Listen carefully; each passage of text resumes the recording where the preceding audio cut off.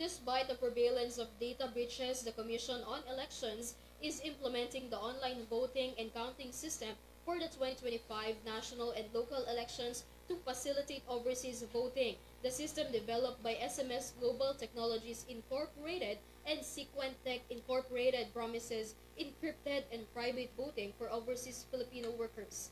Here's the details.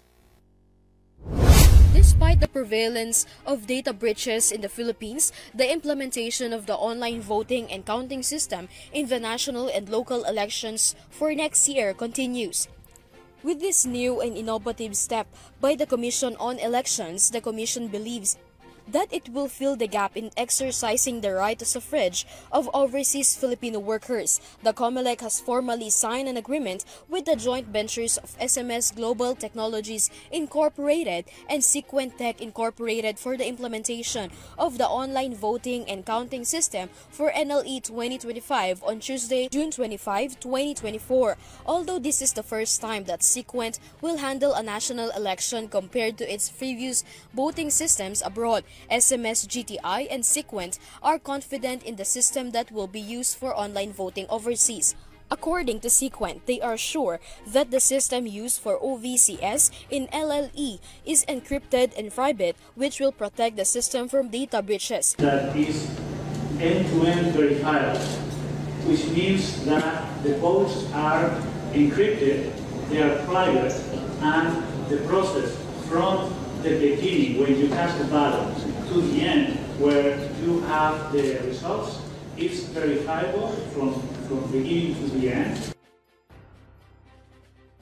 The project was awarded to SMS and Sequent at a lower cost of 112 million pesos while the COMELEC has a maximum budget for the contract of 465.8 million pesos. Anthony Christian S. Angeles, President and CEO of the local company SMS GTI insisted. So again, I would like to reiterate, ito po ang tamang presyo. No, hindi po siya mababa.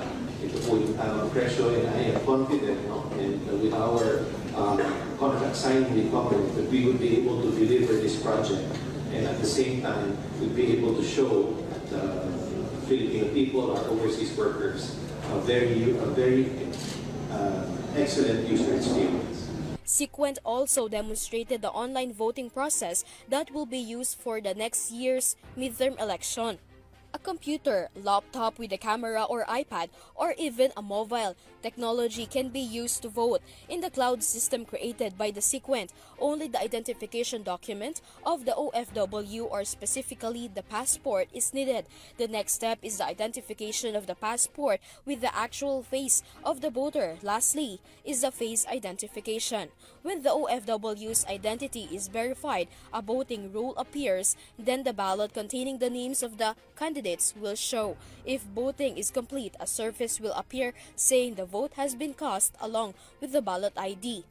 COMELEC Chairperson Attorney George Erwin Garcia reiterated the target in this program is the seafarers who no longer have the opportunity to go to the embassy who vote due to a long stay at the sea. Pagkakataon natin makaboto, hindi na tayo pupunta sa embahada, hindi tayo padadala ng endos na igalaman ng mga. Bago tayo gamit na ng inyong cellphone, laptops, iPad, makakaboto tayo. Pero This is Criza Lopez for Euro TV News.